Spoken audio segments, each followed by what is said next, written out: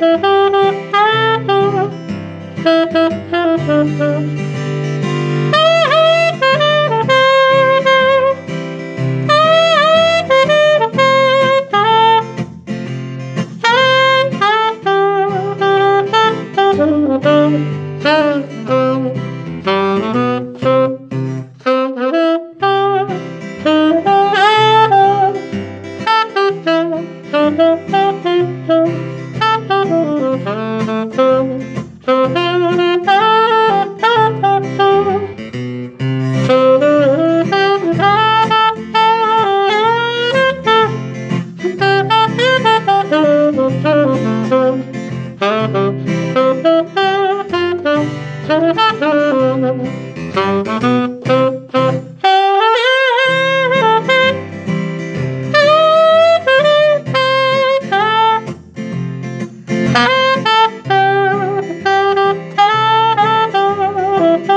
you.